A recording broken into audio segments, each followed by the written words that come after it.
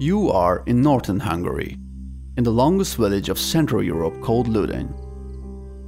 This peaceful settlement is the home of the country's most beautiful horse stable and young equestrian training center, Timi's Ranch. In summertime camps, the local trainers teach every important aspect of horsemanship for the kids.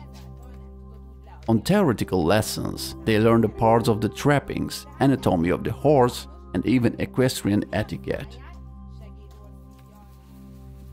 There is more than 50 horses out there on the fields and in the stable, so there is a lot of work to do. They do it in small teams, some of them feeding the foals while others cleaning up the stables.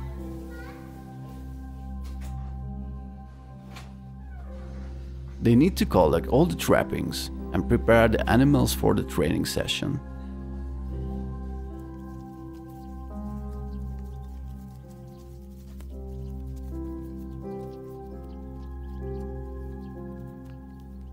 Grooming them before the ride is as important than cleaning them after that.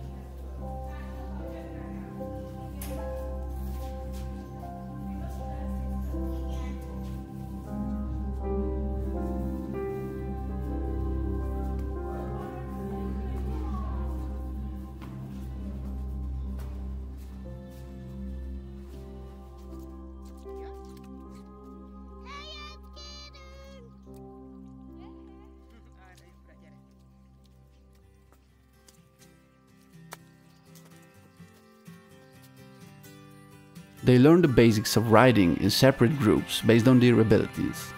Trotting countless rounds and walking over low obstacles make them confident on the saddle.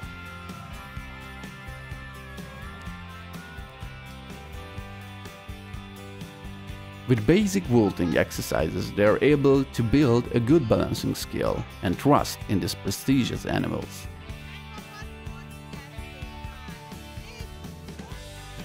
Self-confidence, respect and caring for others, trust and braveness, that's what they learn.